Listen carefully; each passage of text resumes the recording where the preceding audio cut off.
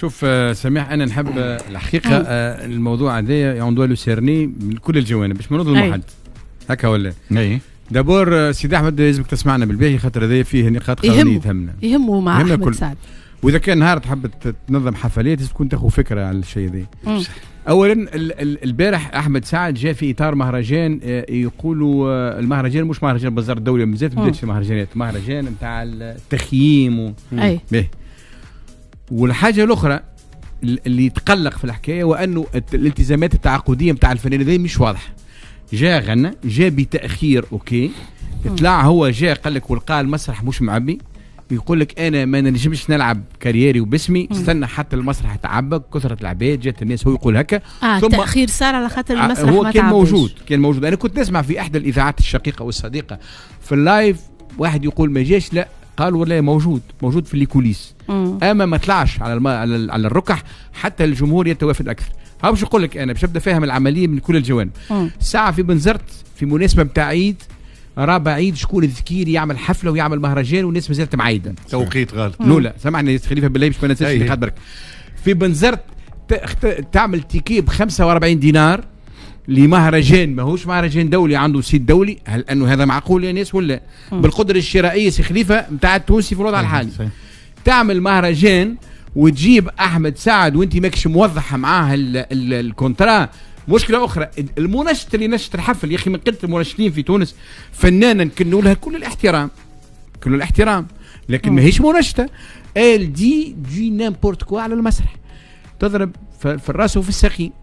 دي سي إلى وقاعدة تخلوط وعملية تنشيط معناها تضحك خليت الناس تقلق يا سيدي أحمد خليت الناس على على في الم- في المسرح قلقت العباد وفدتوا فيهم اللي يحاول يخرج ويغادر المسرح. نعطيك أنا في. أمور موضوعية راه. أيوة. لأني مطلع أنا في- خليني نفهم شنو صار. بالضبط قبل ما نجي عملت عليه هذا ريشيرش.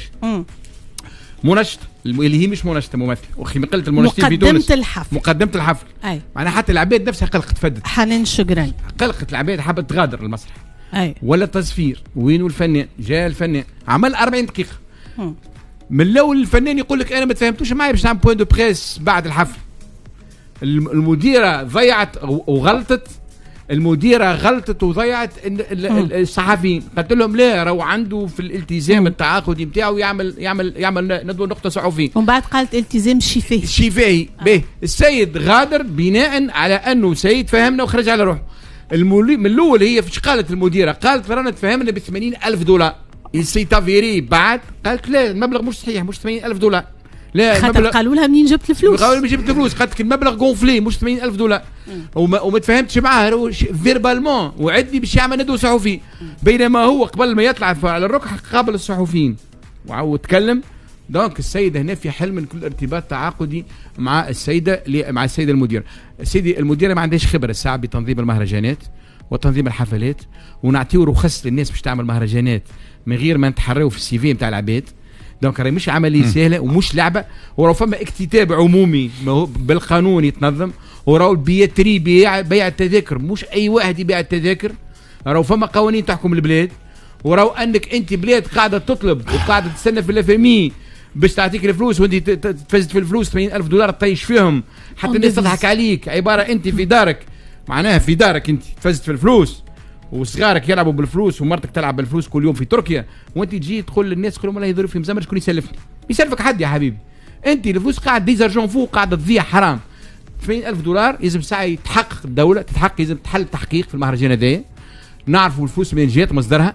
وهل انه فعلا فما 80 ألف دولار ولا وكيفاش دفعت والعقد كيفاش تعمل ولا والمطرب هذايا ولا الفنان ولا ولا هذايا ابو سعديه هذايا شكون جابه إضافة لذلك كله كله كله تتوضح حكايه المهرجانات ما نعطيوش رخص هكاك نسيبوا الرخص ومن بعد سرنا كوار فيتصور اللي صار البارح كان ينتهي بفضيحة يعني أنا ريت الراجل مع عبارة مهربينه في كرهبه ودي جارد كور بقوة جسدية وبنية قوية والعركة اللي. قدام الأوتيل زاد. والصحفيين يهدوا في رواح معليش هكاك تصير العملية عملت ما عطاش نقطه صحفيه يتفضل المحفل ونفسها المديرة ذي كان على حق تقدم قضية أي سيدي نعلم كان سكوبة هو اللي قدم قضية أحمد سعد أحمد آه. سعد توا أحمد سعد قدم قضية قدم قضية توا بمديرة؟ المهرجان؟ ها فيش. قدم قضيه قال لك معناها عبارة هي اللي خلقت له الاشكال هذايا وأساءت له عملت له آه، السمعة نتاعو وطاولت عليه. لأنه هي قال دزني وادعت ولا- عليه وقال لي أسكت ودار شنو. يعني فضيحة. خاطر ديزاماتور وني با بروفيسيونيل. مش سهله الحكاية مش سهله شكرا لك. نبيل خيرات باش نجيك أحمد الغربي.